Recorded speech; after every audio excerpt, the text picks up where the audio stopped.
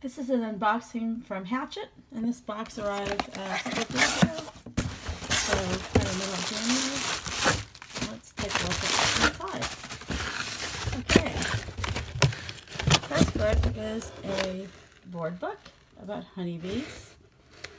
And it is from Chronicle. Hello Honey Honeybees by Hannah Rogue Rogge. Oh, and it's cool. It's got these um, these pieces that pull out and are attached by ribbons.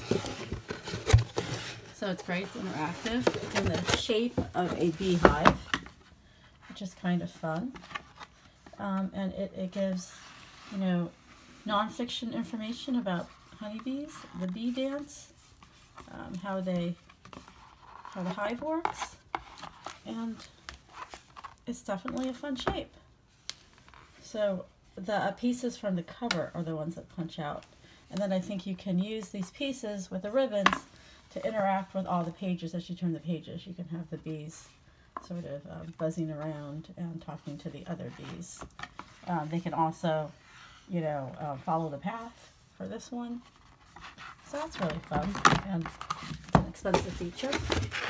Oh, the next book is the very popular Press Here by Hervé Tullet.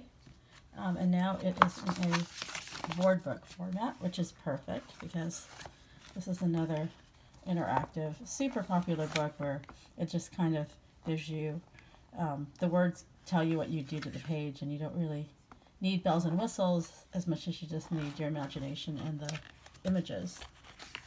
And so that, I wonder if it is slightly shorter in the board book version, but, I'll, but actually this board book looks really, really long. So I think it is the full um, press this book. I just made it like an unusually, um, I think the pages are a little bit thinner for a board book, or there's just more pages. Like, I feel like board books normally only, like I only turn the page eight times. All right, one more interactive board book. Again, another very popular uh, book series, Mighty Mighty Construction construction site. I think that was the first.